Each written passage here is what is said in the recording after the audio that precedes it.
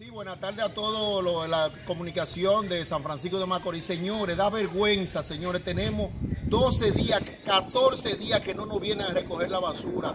Por favor, Móvil Soluciones, nuestro querido síndico Siquio, señores. Yo estoy en creer de que, que lo mandan y no vienen a recoger la basura, porque tuve informaciones eh, como Frente Comunitario San Pedro de que ellos estaban diciendo que pues no le dan dinero, porque no lo no sé qué, ellos dicen eso, pero si ellos empezaron a trabajar en el ayuntamiento, en Móvil Soluciones, tienen que coger lo que le están dando y darnos el servicio, porque es un servicio para todos, señores. Y es lamentablemente, si ustedes suben para acá arriba, medios de comunicación, prensa, y lamentablemente esto está lleno de basura. No sé por qué no hacen eso, porque nosotros votamos.